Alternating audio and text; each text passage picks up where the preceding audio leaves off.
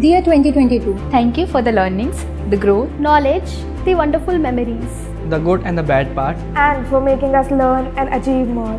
Thank you for the uncountable smiles, the wonderful memories. and for making us learn from our mistakes. So, the one thing that I've learned this year is No matter how hard the past is, you can always begin again. the beginning is the most important part of the work. You don't have to see the whole staircase, just take the first step. 2022 has been incredible. This year has been an extraordinary year with an extraordinary journey. So we have turned 35 years young this year and became Great Place to Work certified. What started as a 20 member company, now growing stronger with 3,500 members plus. I'm very excited for 2023. Wishing everyone a Merry Christmas and a very happy and a prosperous New Year. Merry Christmas and a very Happy New Year. Wishing everyone a Merry Christmas and a prosperous New Year.